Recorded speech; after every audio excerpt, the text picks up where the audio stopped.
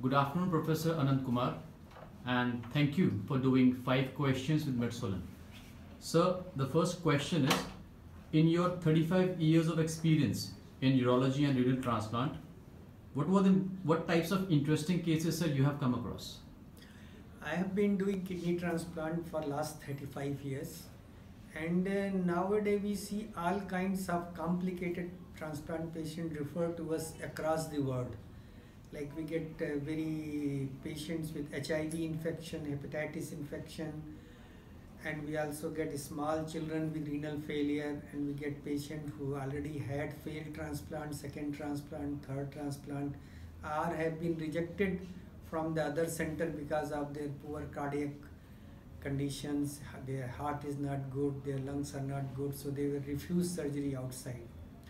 So these patients come to us and in Max Super Specialty Hospital here in Saket, we have a very good uh, super specialty care. So we have a very good doctors in heart, cardiac surgery, in lungs, in gastroenterology, in neurology, and we have a very good ICU setups and ICU experts so that even if we take a very complicated case, we can look after them. So that is the advantage and the strength of this hospital so that we can manage most of the complicated patients.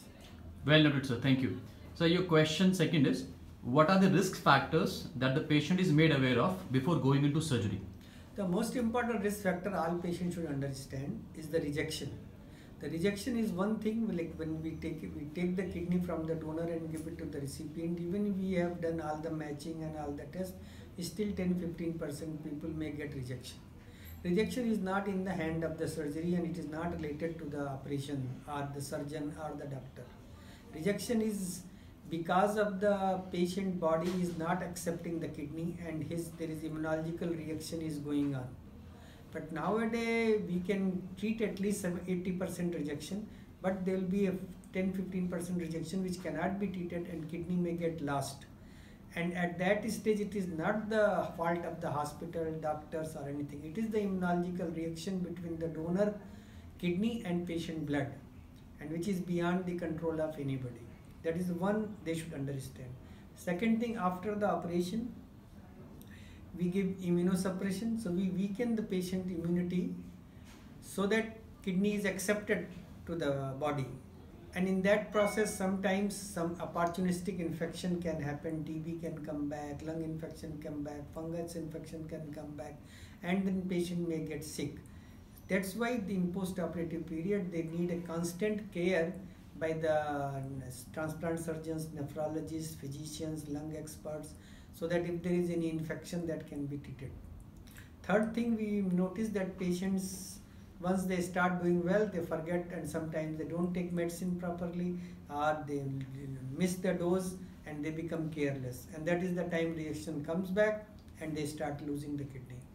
And the biggest problem we have faced is the patient after the operation they go to the other country.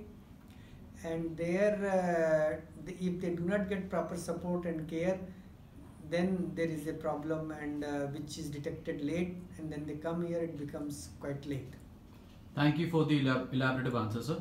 Your next question is, what kind of post-surgery support do we offer to patients? See, we always insist all patients should stay at least six weeks after the transplant. Invariably, they spend three to four weeks before the transplant. So usually patients should come for three months. And around six weeks time, the patient is, most of the pump problem is settled and blood levels have achieved. Kidney is more or less working very well.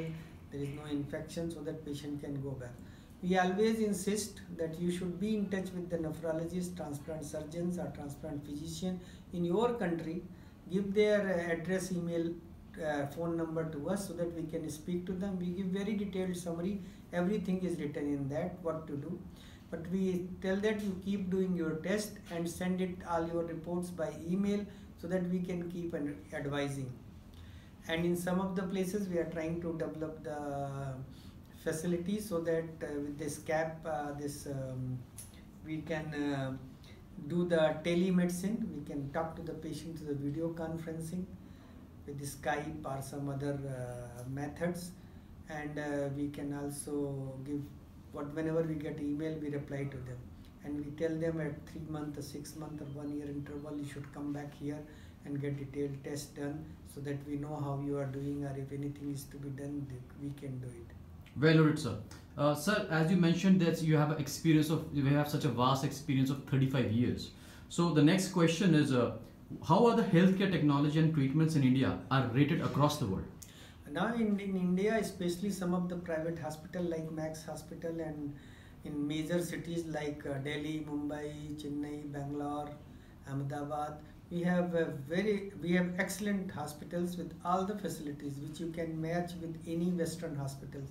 Like our results of transplant is as good as any American hospitals, except we have some little post after two, three months, six months, little higher rate of infection, which probably related to the hygiene and care of the patients. And as far as technology is concerned, we have everything, including the robotic surgery, and you'll be delighted to know that we do robotic kidney transplant. We take the kidney laparoscopically out and put the kidney with a small incision into the abdomen and do the surgery with the robotic. We have till now done 25 robotic transplants. The advantage is patient has a very small incision, patient start walking next day and discharge within a week and very and for females and obese patient it is a boon and they love it very small incision. And in obese patient because of the robotic surgery small incision they do not develop wound infection which is very common in open surgery. And we have all kinds of tests available all kinds of diagnostic are available all kinds of experts expert doctors are available.